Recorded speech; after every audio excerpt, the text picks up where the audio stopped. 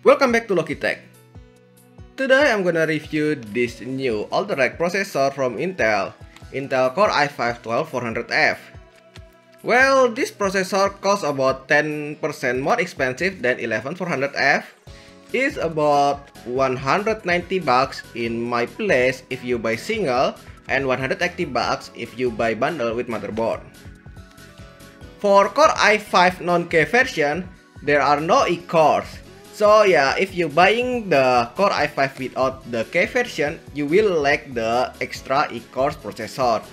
But let's see if it's really affect big performance of this processor or not. Let's just start from unboxing this processor and then we do the benchmark.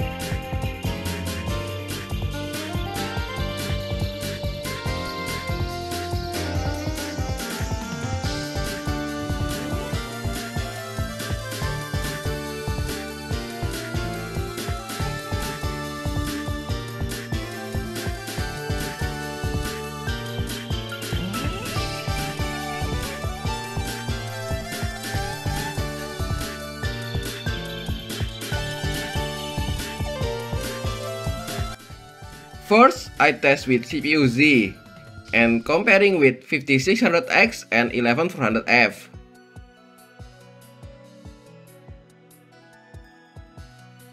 In this test, 12400F is 15% faster than 5600X and 20% faster than 11400F in single thread performance.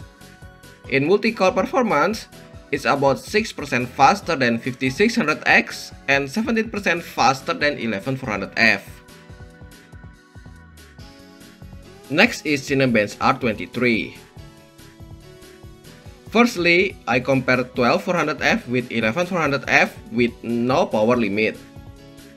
11400F consume about 114 watt, while 12400F is only 70 watt.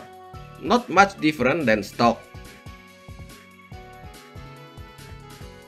At stock, 12400F is already 20% faster than 11400F, while without power limit, it becomes 22.5% faster. The score is the same with the CPU name which might be coincidence.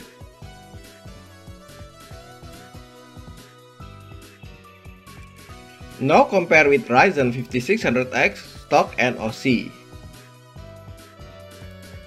At stock, 5600X consume about 76 watt, which already more than 12400F no power limit.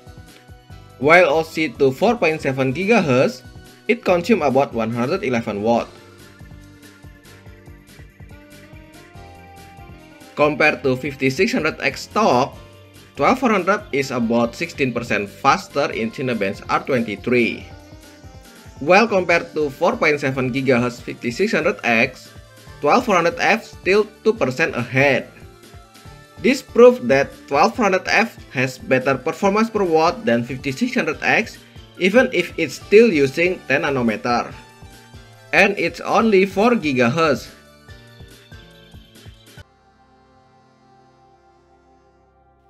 Now let's get to gaming benchmark. I test with RTX 3080 Ti with 1080p resolution. First, I test using Horizon Zero Dawn.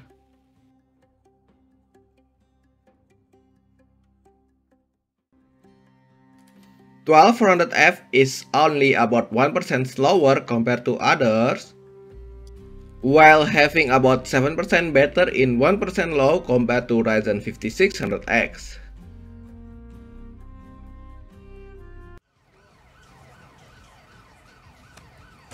Next game is Watch Dogs Legion.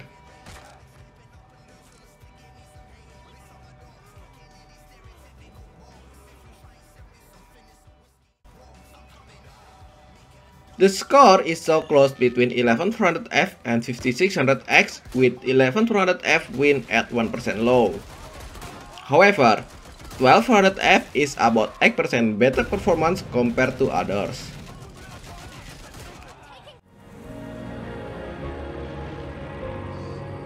Next game we have Far Cry 5.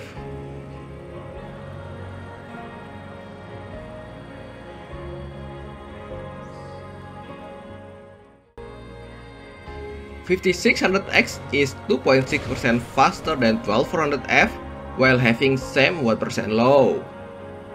While 11400F is about the same with 1200F with slightly lower 1% low.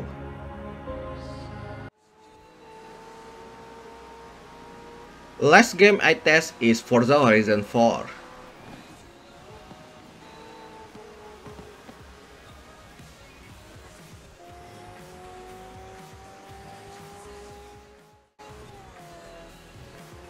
In this game, 1200F is about 8.4% faster than 11400F and 3.7% faster than 5600X. For more benchmark detail, you can check my other channel, Loki Bench. From the benchmark results just now, this Core i5 12400F can match multitask performance with Ryzen 5600X OC. It's really powerful compared with the 5600X pricing. Currently in my place the 5600X still pricing about 300 bucks, which is much more expensive than this 12400F. You can buy this 12400F with budget B660 motherboard and you will get the same as 5600X OC. While compared with the previous generation 11400F, this 12400F has 20% more multitask performance than the 11400F, which is really good. In gaming benchmark, this 1200F yeah roughly is on par with 5600X. Some games 1200F wins and some games 5600X win. It's slightly better than 11400F in average gaming. Now let's talk about the power consumption. This 12400F is really power saving processor. This 12400F only consumes 70 watt at maximum which is slightly lower than 5600X stock and much lower than 5600X OC. It's also much lower than the previous gen 11400F. Also in gaming, this processor only consumes about 30 to 40 watt, which is lower than 5600X and only half of 11400F. Intel do a great job for doing performance per watt for this 12400F. Compared to the competitor and the previous generator, this power consumption is really massive power saving. With that power consumption, you can just use the stock cooler and you will not have any problem running this processor at no power limit with the stock cooler. Compared to 5600X and 11400F, if you want to run both processor at maximum power, you will need to buy extra cooler to cooling down those two processor. While this one, the stock cooler is enough. So overall, this 1200F is really really great processor for around 180 to 190 bucks budget. With the chip B660M motherboard, example like the test I use is B660M Pro RS, or maybe you still can use the cheaper one B660M STV, you can unlock this 1200F at full performance already. You don't need to worry about uh, downgrading this 1200F performance. And with that combination, you get the same price as new Ryzen 5600X in my place. Okay, that's all from me. If you like this video, please press like and subscribe. And don't forget to check the link in the description below. Thanks for watching.